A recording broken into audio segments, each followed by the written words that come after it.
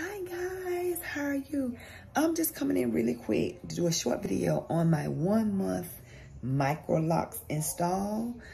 I installed it on October the 11th and this went one month and I did my retie on the 3rd of November.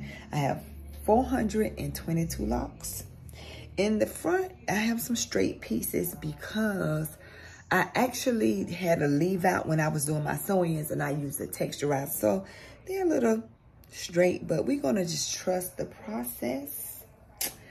I am loving this. The only thing, the only gripe I have is in the front, in the straighter pieces, I do have some slippage, but I just kind of retwist. And how I did it, I, I twisted my hair with two strand twists and I interlocked the roots.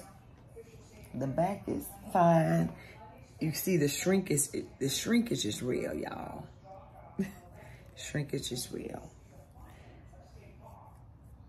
Shrinkage is real. Look at that. Look, look, look, look, look, look. So shrinkage is real.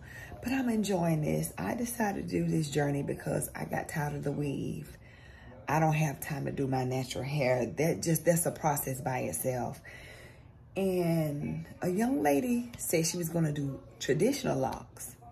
So when she said that to me, I said, well, let me look up the whole Sisterlock and microloc journey. And I went for my consultation. I was going to have someone to do some Sisterlocks.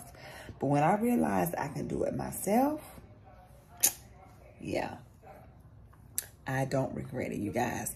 I am enjoying the shortness of it. I cannot wait till it really drops. But yeah, tell me what you guys think.